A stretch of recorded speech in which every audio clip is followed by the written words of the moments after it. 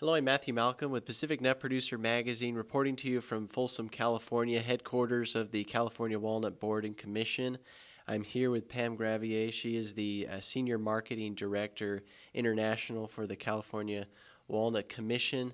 Uh, we've got some, some great news for the industry. Growers are going to get paid by the USDA for uh, trade mitigation to offset some of these trade issues that we're having internationally. And wanted to talk to Pam about how that's going to work, uh, what growers need to do to, to get the payments. So, growers need to go to their local Farm Service Agency office, but you can't just show up. You have to call first to make an appointment, and um, you have to bring in proof of the acres that you own and you have planted, and then they will work out uh, a plot and figure out what your payment schedule is. For nut producers, walnut growers, the rate is $146 per acre. But in the first round of payments, you'll only see 50% of that, which is $73 an acre if you qualify. Now, when you say if you qualify, what does that mean? Sure. So um, you cannot have an adjusted gross income that exceeds $900,000 from your tax records from the years 15, 16, and 17.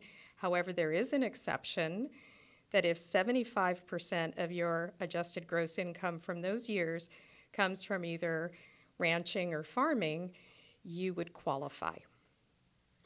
Right. Any other details that uh, growers should know about this program?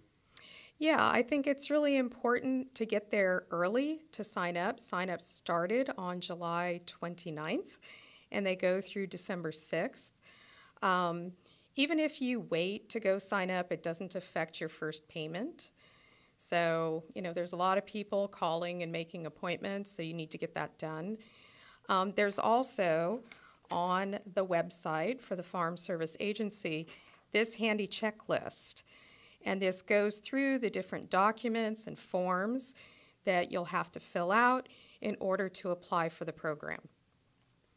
Great. Now, um, you know, we we still have these trade issues going on, and it's going to go into another season, and no telling when this international trade dispute is going to come to an end.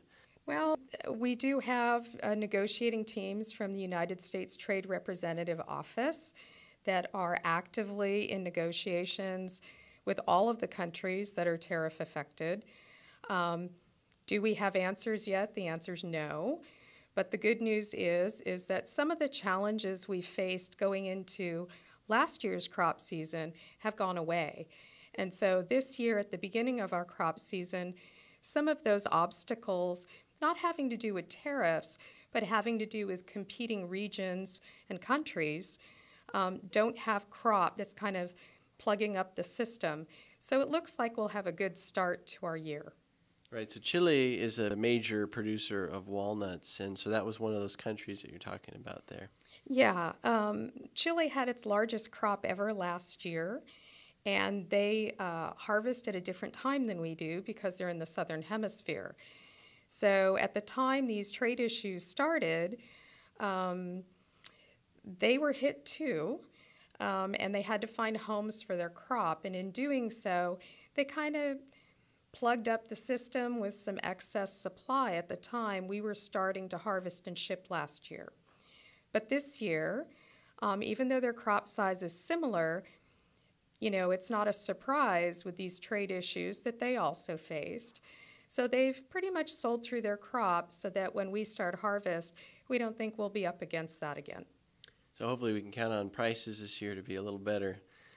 We hope. I know you can't say anything at this point, but uh, we, we hope for a good rest of the season and uh, wish growers the best luck of harvesting this year.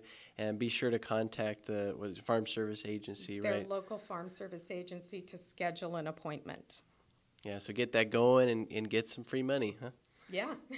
Thank you for taking the time here. Read more about these things in Pacific Nut Producer Magazine. I'm Matthew Malcolm, CaliforniaAgNet.com.